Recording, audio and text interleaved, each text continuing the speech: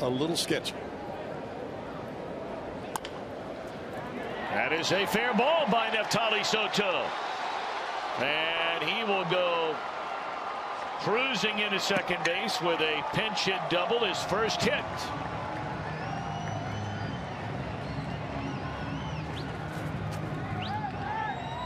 His at bats have been few and far between.